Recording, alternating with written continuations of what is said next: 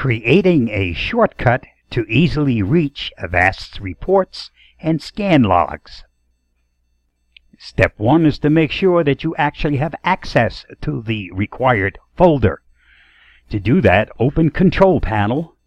If you have it set up by category, change this to either large or small icon. Once this has been changed, then select Folder Options. Once Folder Options is open, select View, and then make sure that this is not checked. This needs to be unchecked in order for you to be able to access the folder needed to access the various reports. Once you made sure that this is unchecked, then say OK.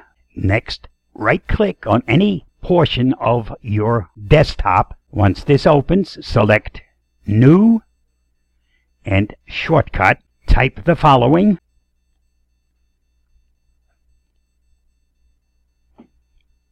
Then hit Next, and let's give this a name that's meaningful to us.